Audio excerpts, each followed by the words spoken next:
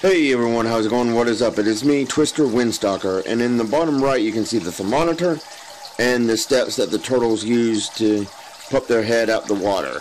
And the light on the right, I believe, is the UVB lamp, and this one is their um, heat lamp.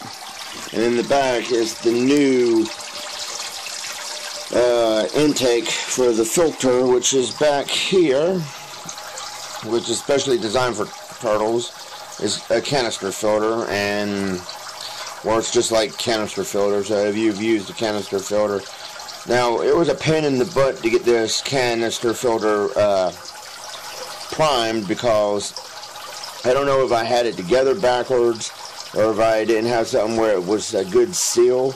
But this thing took for freaking ever to prime, but it comes with this nifty, handy, dandy spray bar that I have hooked up.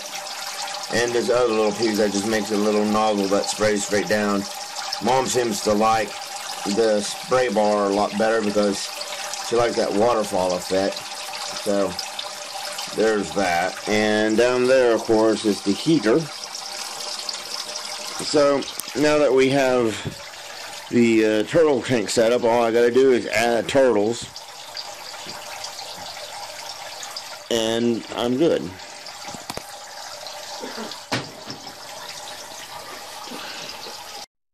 Shipwrecks and their little thing that I normally fill up with water, but I didn't feel like doing it today.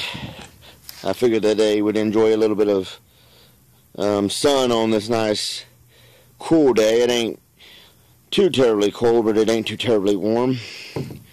The one on the left crawling is the yellow ear eared slider.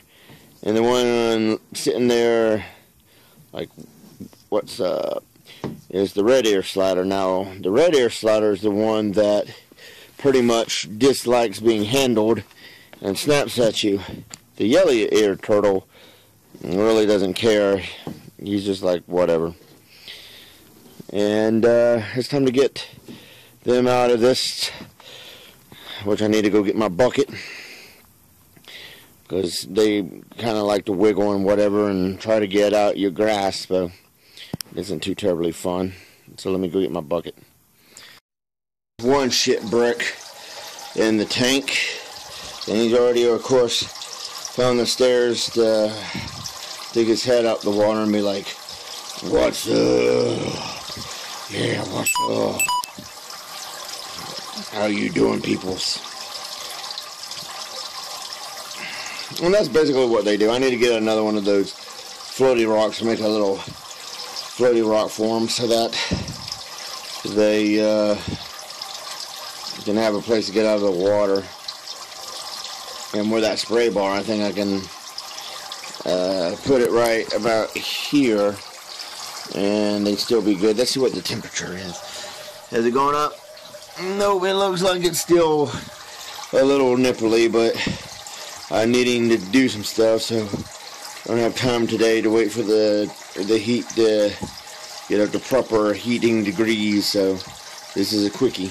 Let's go get the other shipwreck. There's both shipwrecks in the tank, doing what they're doing best, just chilling like villains, and wondering where the food's at.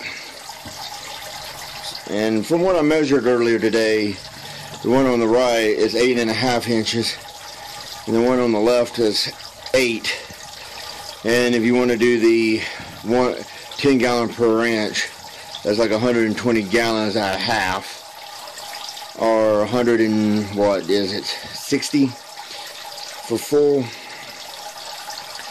So let's let the shipwrecks do their thing and get on down the highway and all that good stuff because if you like this video, give it a thumbs up, leave comments down below, subscribe, I'll see you guys later.